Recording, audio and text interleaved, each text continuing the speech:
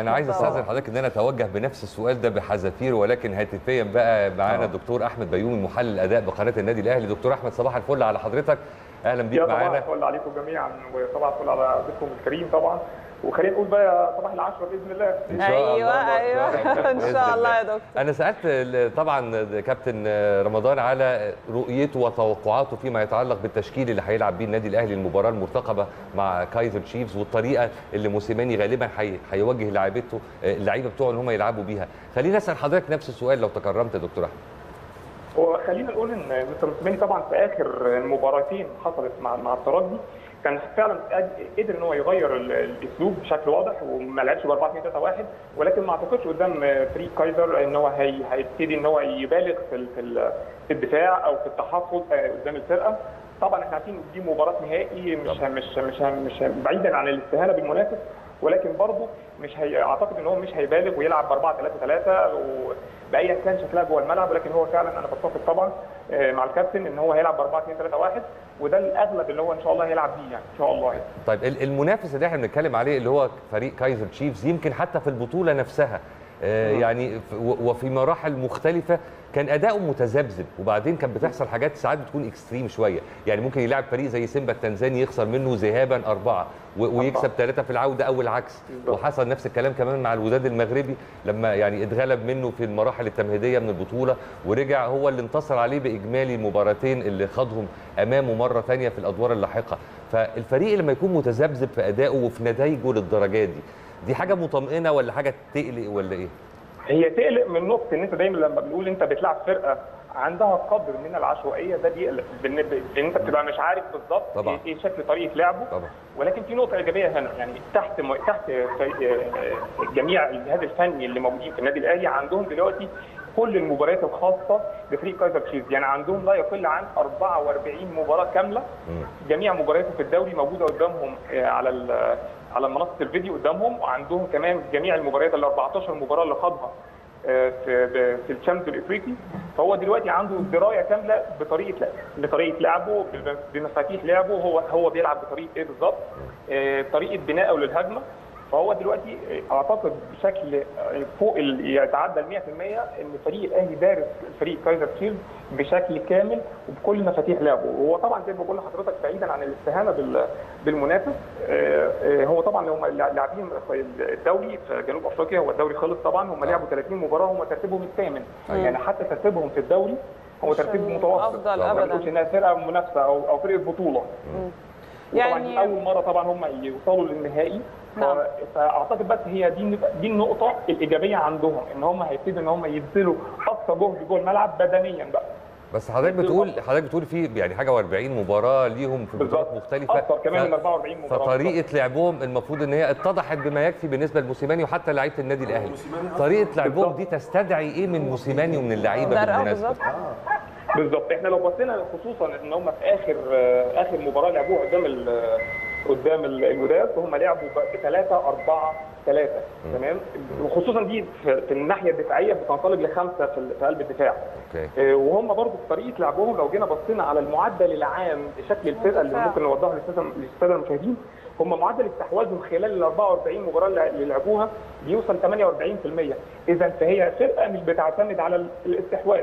صحيح. وإحنا مش بنقول برضه إن مش دي نقطة سلبية لا إحنا بنقول ده شكل عام لطريقة اللعب. يعني مش لازم تكون الفرقة توصل لمعدل استحواذها 55 و57% لا. إحنا بنقول شكل طريقة اللعب بتاعتهم. هي فرقة ما بتلعبش على الاستحواذ. برضه لو جينا بصينا هم عندهم القدرة إن هم يدوروا الكورة جوه الملعب بشكل كبير. لا برضه ما عندهمش القدرة دي. هم بيعملوا متوسط حوالي 330 تمريرة 330 تمريرة في عرف فريق كرة القدم. ده معدل منخفض جدا إن أنت تقدر تلعب آه، تمريرات جوه الملعب. تمام؟ فهم فرقة ما بتعتمدش على الاستحواذ ولا تدوير الكره كتير بشكل بشكل كبير جوه الملعب. ولكن النقطة اللي لاحظناها في ال 44 مباراة هو معدل التمريرات الطولية. بيعملوا أكثر من 40 تمريرة طولية جوه الملعب في المباراة الواحدة. وده معدل كبير جدا. ده بيديني انديكيت لشكل اللعب. اذا هم ما بيلعبوش على الاستحواذ أو ما بيلعبوا على الكرات الطولية. وبتبدأ فعلا من قلب الدفاع. تمريرات طولية إحنا بنتكلم في تمريرة لا تقل عن 40 متر. اذا فهم لع- بيلعبوا على الكرات الطولية من قلب الدفاع. بيلعبوا على العرضيات بشكل كبير لكن ما بيلعبوش على الاستحواذ. ده شكل عام لشكل الفرقة. اذا إحنا رايحين عارفين إحنا بنلاعب مين لعيب- لعيبة ما عندهمش القدرة إن هم يدوروا الكرة في وسط الملعب ولكن بيلعبوا على الكرات الطوليه ده. الشكل العام لفرقة كايزر اللي بإذن الله الأهلي هيواجهها. هو هو برضو يعني أخيرا اسمح لي بس أسأل حضرتك السؤال ده قبل ما. ننهي مع حضرتك المكالمة اللي طبعا بنشكرك على مشاركتك معنا من خلالها. شكرا يا فندم. آه، هو أنهي الأهم الاستحواذ ولا الاختراق والتهديف؟ ولا ده بيؤدي لده؟ أنا عندي مفاتيح لعبي شكلها إيه وإيه إمكانيات لاعبتي عشان أقدر أنفذ طريقة اللعب. يعني الاستحواذ هو مش هدف هو وسيلة عشان إن أنا أقدر في الآخر أقدر إن أنا آه، أنهي الهجمة وأجيب أهداف. أنا ممكن أعمل استحواذ 70% بس ما أقدرش انهي الهجمة. نتيجة ان أنا استحواذي سلبي عشان أنا ما عنديش القدرة من صانع الألعاب أو المهاجم بتاعي انه يعمل finish. تمام؟ فاذا أنا ما عنديش القدرة دي فهلجأ للطريقه الثانية ان أنا العب على هجمة مرتدة أو ان أنا العب على الكرات الطولية واستغل ال second ball. فاذا اولا وأخيرا ده حسب امكانيات فرقتي. فبنقول إن فرقة الأهلي لا فرقة الأهلي هي فرقة استحواذ عندها من اللعيبة ومن الإمكانيات في نص الملعب. وفي قلب الدفاع إن هم يقدروا يدوروا الكورة بشكل كتير يقدروا يعملوا بناء هجمة بشكل واضح. ولكن زي ما بقول زي ما بقول لحضرتك هم فرقة ما عندهمش الإمكانيات دي. اذا هيلعبوا على الطريقة الثانية اللي هي إيه؟ اللي هي الكرات الطوليه بشكل كبير. هيلعبوا على العرضيات هيلعبوا على السكند بول. ده هيبقى شكل طريقة لعبهم.